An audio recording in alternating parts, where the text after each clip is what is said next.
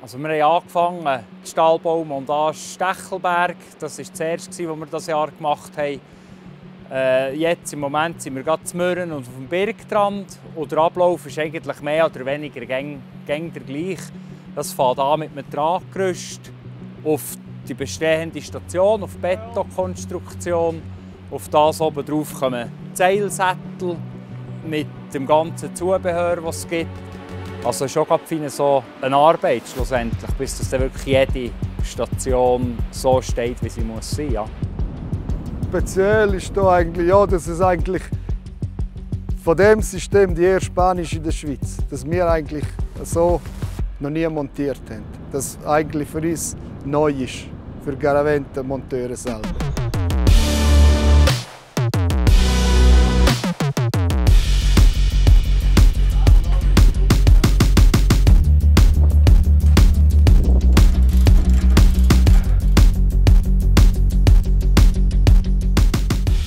Wir haben äh, vor Pendelbahn Stechelberg-Mürren die schweren Antriebskomponenten in da. Also das ist einerseits Antriebsscheibe, Gegenscheibe mit dem 12-tönnigen Getriebe dazu, der Elektromotor ist jetzt einfach mal im Haus drinnen, platziert, grob zusammengestellt, dass es ein Bauteiler geht und wartet jetzt eigentlich so darauf, dass eben oben drüber der Stahlbau fertig ist und ausgerichtet ist und am Schluss tun wir noch den Stahlbau mit dem Antrieb zusammen ausrichten, dass die Zeilführung vom, äh, vom Zugseil schlussendlich passt.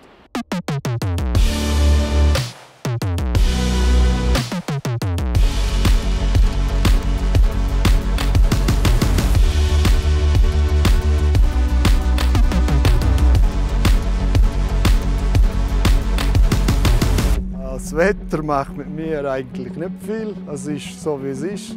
Da kann man nichts ändern. Ja, man nützt auch nicht. Einfach so gut wie es geht ignorieren und weitermachen.